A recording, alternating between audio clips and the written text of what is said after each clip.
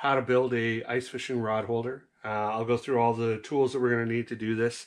Uh, I picked up uh, a couple of one by four by, uh, I believe the six foot boards um, from Home Depot. They were about 350 each. Uh, I'm going to need a miter saw, a hammer, some nails, uh, a spade bit. Um, if you haven't ever seen that one before, it's uh, one and a half inch. Uh, pencil, a drill, and a tape measure, and then uh, one of these little tools right here. Um, I'm going to show you what I'm going to do here. So basically I'm going to build it. I'm going to be 22 inches high by 22 inches wide, which should be enough to accommodate six rods. I want to be able to hang it on a wall inside the house. So uh, something that's inexpensive, still looks good, and uh, and is uh, obviously easy to build. So we're going to do that today. So I'm going to clean all this up. I'm going to cut the wood down into uh, the 22 inch pieces. Uh, so there'll be five of them total uh, a top piece which will have holes in it, a bottom piece which will have holes in it, and then I'll also have the two sides, and then one at the very bottom um, just to hold it so the rod doesn't fall all the way through. I just want to be able to set it inside of the hole so that it doesn't move around.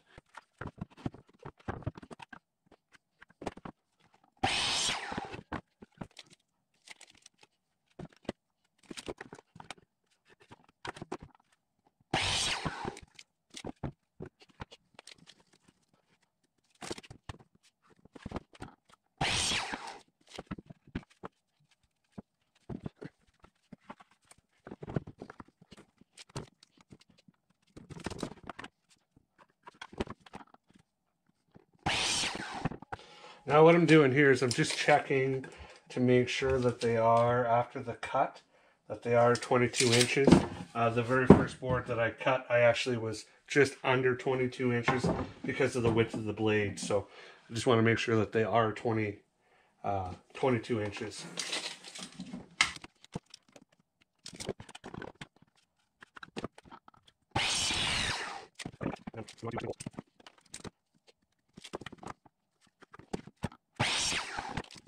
Okay, so five pieces that are 22 inches. Now what I'm going to do is I'm going to take two of them that I like, that don't have a lot of stuff on them. We want to make sure that the knots aren't showing maybe up front, so we have a nice clean look in the very, very front. Okay, so I'm going to take these, okay, and I'm going to clamp them down together after I've measured. So what we're going to do is we're going to measure first we want to do, um, sorry. I'm just going to measure the actual distances here. So two inches. Okay, and then we want to do an inch and a half from there. And that'll be our first hole. And then after that, then we're going to do three inches. So we're at three and a half. So then we're going to do six and a half.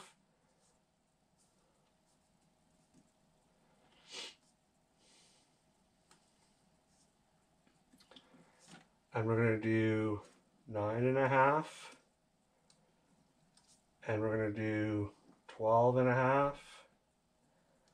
And we're going to do 15 and a half and we're going to do 18 and a half. And then that should be our numbers so we've got one hole here. One two three four five six. So it'll be six holes and then we measured out in the middle. So this first hole is right here. Will be three and a half inches. And then same thing all the way through. Now we want to measure the middle of the board this way, which is three and a half inches.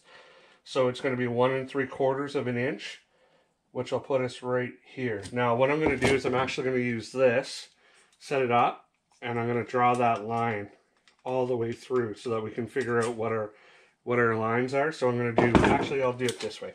I'll do one and three quarters of an inch. I'll mark it on this end. And then I'm going to mark one and three quarters of an inch on this end.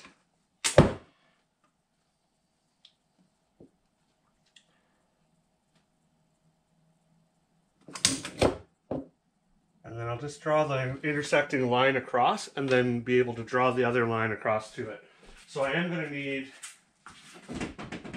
one of these uh, just so I can draw that line out.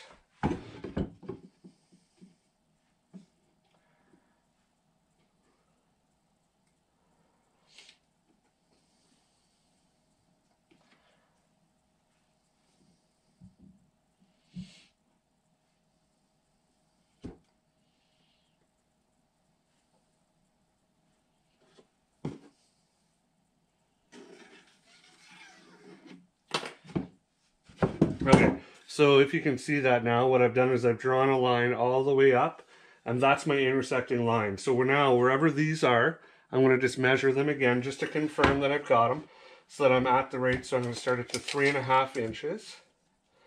And then I'm just going to make that mark right at the middle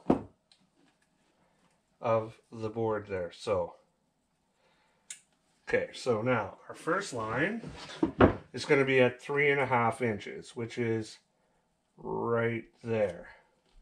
Our next line is going to be at six and a half inches, which is right there. Our next line is at nine and a half.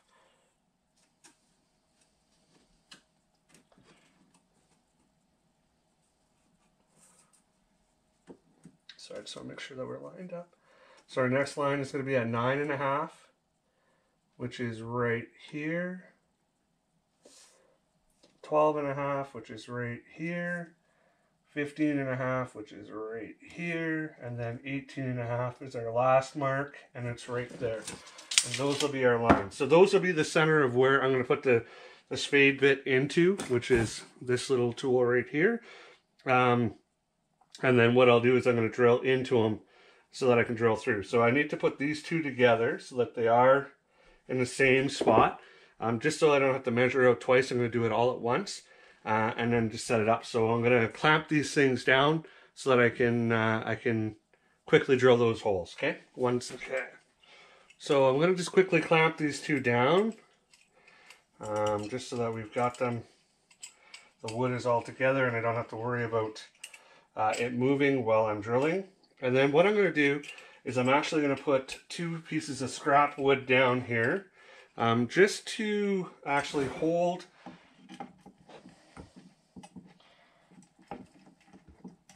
the, or just so that I don't drill into anything underneath. Um, it'll just add a little bit of a cavity underneath so when I do put them down it'll sit on top of it and I can drill right through. Okay, so I'm going to move some of this stuff out of the way so we can do this. Okay. So here's my two pieces of scrap wood. I'm just going to throw this on top. And then I'm going to drill those spots using my drill. Okay, so I'm just setting this thing up so I can get the spade bit now, the nice thing about this one, this is the Irwin spade bit, um, is that it does have a little, the little point that goes right in. So I'm going to make sure I'm lined up on it first. And then just push down on high. Maybe not on high.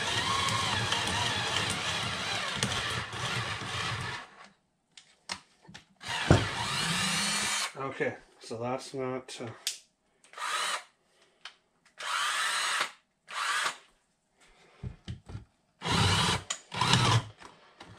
Okay, I'm gonna have to use a different drill. This one isn't uh, isn't working.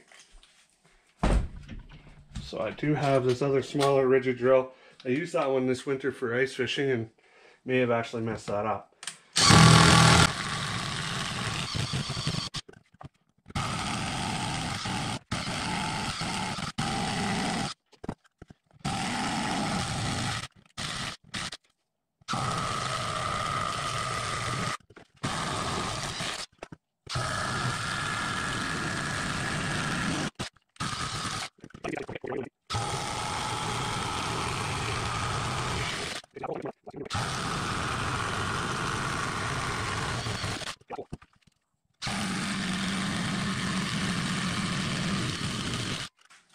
Okay, so uh, we now have the holes all done. I'm going to take a few seconds, sand things up a little bit around the rough edges, but uh, it should be very, very easy to go together now. I'll be able to take the two pieces. Uh, I'm just going to clean this up and be right back with you.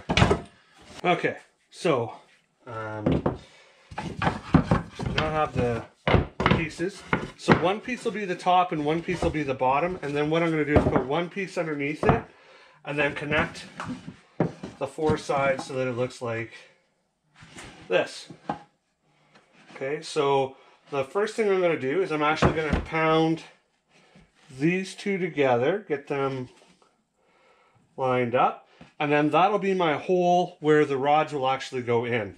So I'm going to take the ugliest looking piece, which is that one. I'm going to put those ugly cuts down, and there they go. Okay, so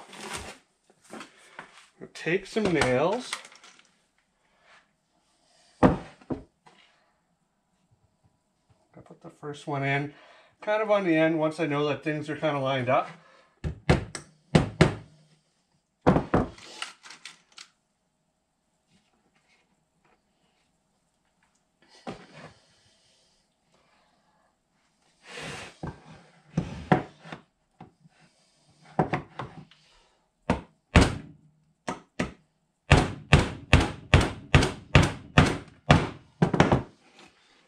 Okay, so that's kind of the first one.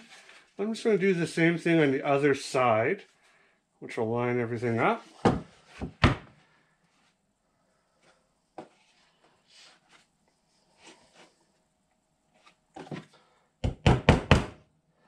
to add a few more nails. I am going to paint it. I am going to paint it when it's done as well. So, okay. So now we have one side and the other side will go into it like that as well. I just want to quickly. Okay, so what I'm going to do is I'm just going to start by toenailing two little ones here just so that I know So I'm going to go right into the wood there. I'll do two quick little ones on the bottom.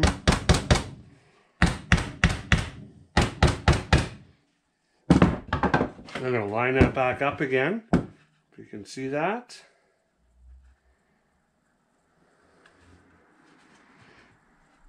I'm just going to top them in there.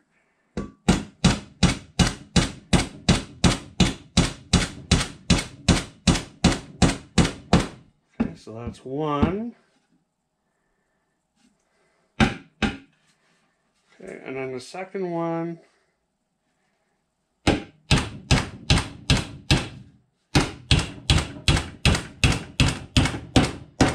Okay, so that's one side done.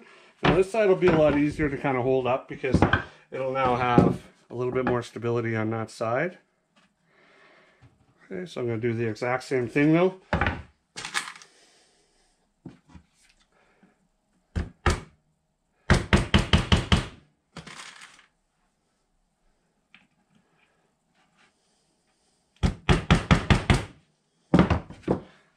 Just quickly nail this together.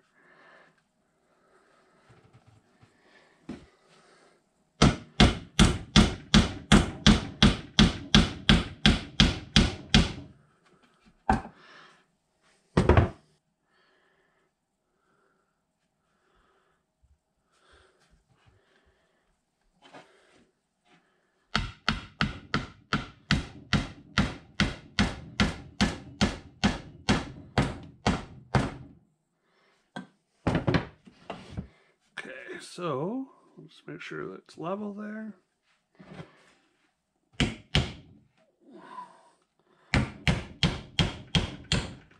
Okay.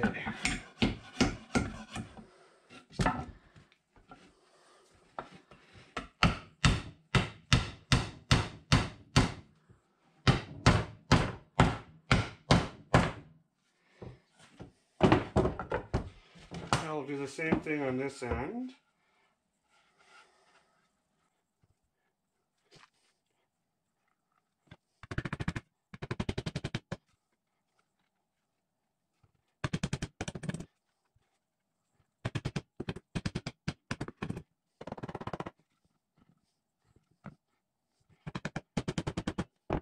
That would be going very well. I'm not or what, but nailed one in there.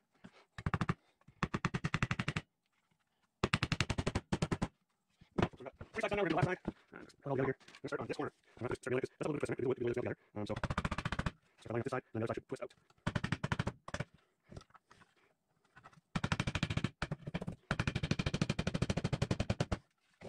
Okay, so that side is actually, in fact, it's open a little bit, so we'll do the exact same thing.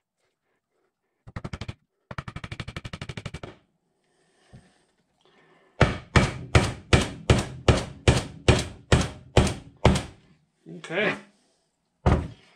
Now, all you need to do on this thing is I can, I'm to throw in a couple more nails in the bottom down here just to tighten it up a little bit. But basically now you can varnish it, put a uh, couple of picture hanging pieces on the back here, and then you've got your quick little rod. Okay, so I finished the um, the rod holder. Um, like I said, I was going with six rods. Uh, I have a few more rods in the garage, but um, just thought I'd throw them up here just to kind of quickly show you. Instead of going with the stain on there, I decided to go with a matte black uh, finish just so it kind of matched some of the other stuff that was in the room, some of the, the pictures and stuff that are in here. So um, again, you can do any color that you want. Um, this this really, the budget cost really nothing. So paint was, uh, I think, six bucks. Uh, the three pieces, or sorry, the two pieces of wood were seven seven fifty, and then the picture hangers were like two bucks uh, for the box. So um, again, it's kind of a neat little design. Uh, hope you guys enjoyed it, and uh, thanks again for watching. Uh, please like and subscribe.